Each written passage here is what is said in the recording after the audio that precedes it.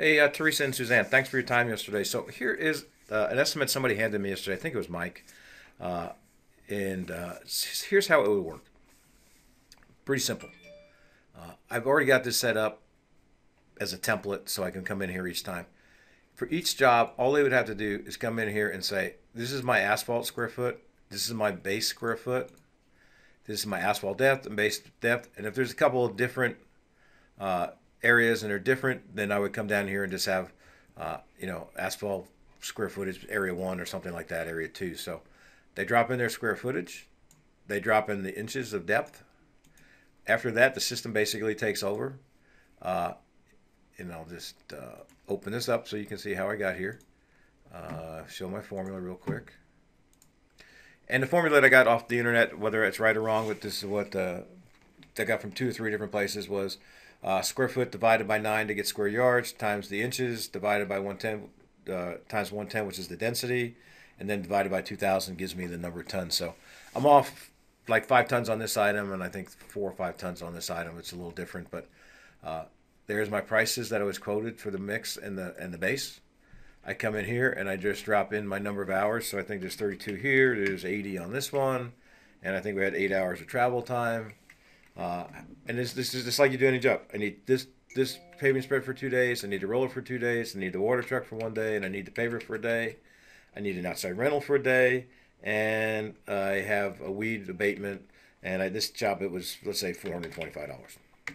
At that point, no different than filling in that piece of paper.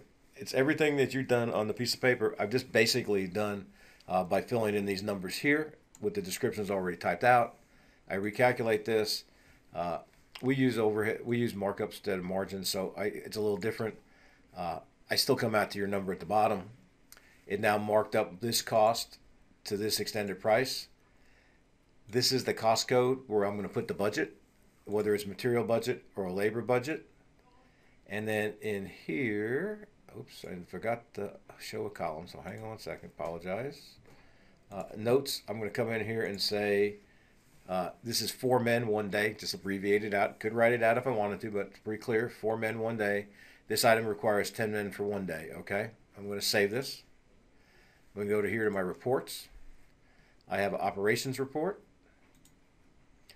I now know how many tons of mix I'm supposed to have, how many hours of labor.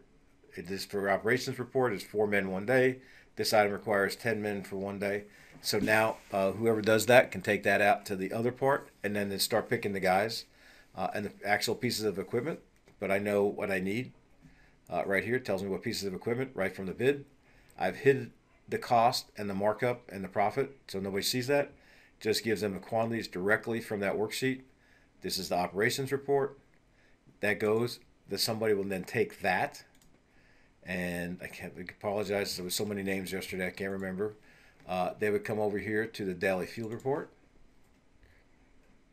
and say for tomorrow, let's say make this for the 14th. Uh, it's job 2040. Uh, it's paving job.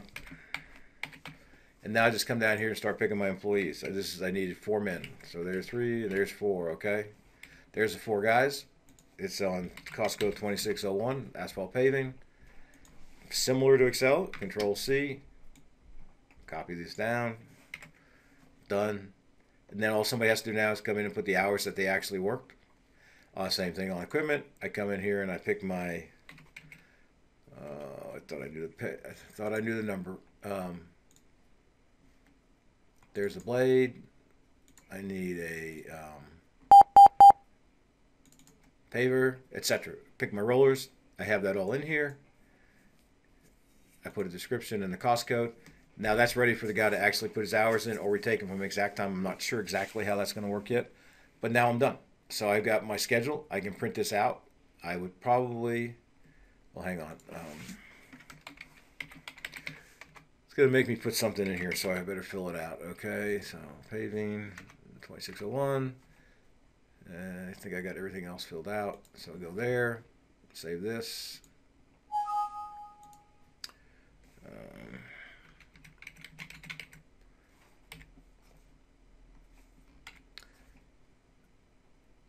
save this. Hang on one second.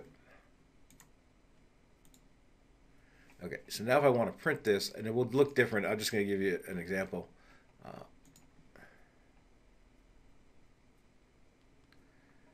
so it shows them who they're supposed to take out, what equipment they're supposed to take out, uh, etc. What job they're going to, what have you. And I can put more description in here if you need to, uh, and maybe who the foreman's name is in here as well. But there's one from the estimate to an operations report, an operations report to the dis, you know the actual work instructions for the day. I very rarely touch the keyboard, uh, and obviously the question you guys had yesterday, uh, I can come right in here and say, just take that out to my Outlook, email it to my guy. Uh, I can print it out if I want to. It's up to you, but uh, basically I went right from an estimate instead of a piece of paper. Went from that, did my quantity takeoff produced the estimate. I didn't do the proposal because I haven't finished it yet. That'll be something when we meet with you. Uh, we'll clear that up and get that exactly the way you want it. Uh, it goes to proposal. I get the job. I send it to operations. Operations determines who's going to go. It all done off of the original data without with very little rekeying or writing.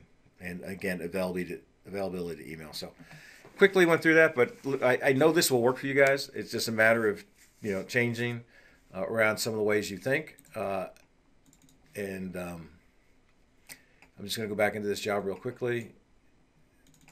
I hid your name so nobody knows who you are. Uh, you know what? On this job, I need another something. I just go in here. Uh, I go to paving and surface, and you know what? I need uh, some crack fill. And I have uh, 178 feet of crack fill. Whoops, missed a seven. 178 feet of crack fill at a dollar a foot. I don't know what yours is. I recalculate it. Now that item's on there. You know what? I got something else I want to put on here. What else do I have? You know what? I need to do some soil poisoning. You know, maybe that's the same as your weed killer. There's some soil poisoning. And I had 10,522 square feet. I can calculate that out. And that's. Uh, so yeah, so there it is. It's three thousand dollars, thirty cents a square foot. Probably too much, but again, I can add stuff on the fly here. If I just want to type in that purple sky hook, I can just type something in, put in a quantity, put in a price, and make the calculation. Uh, put my overhead and profit on it. So, bottom line is, this will work just the same as piece of paper. It's just a little different, uh, but you get to use that information quite a few times. And, like right here, if I know I'm going to buy this from a vendor, uh, I don't know. Let's see what I have. Concrete, sand, gravel. I'm going to buy that from Shamrock. I can now create a purchase order to Shamrock for 322 and a half tons at $65 a ton, and now I have a PO to receive in against. And so we can streamline a lot of the things that you guys are doing manually. I, I'm promising you, you'll be able to bid more. I think you'll be able to bid more accurately and have better information to provide down to the field.